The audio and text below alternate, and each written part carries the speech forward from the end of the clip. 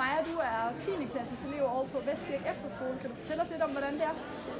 Jeg synes, det er meget rart at på Vestbjerg, fordi at, øh, man får tid til hest, og man har også tid til øh, skole, og det vægter meget, at du har både tid til din hest og dine fritidsaktiviteter, men du har også meget tid til øh, at skulle lave dine lektier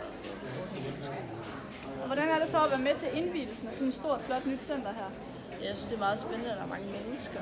Øh, Jeg har været med til noget stort før, så jeg synes, det er meget spændende at prøve noget nyt. Ja, tak skal du have.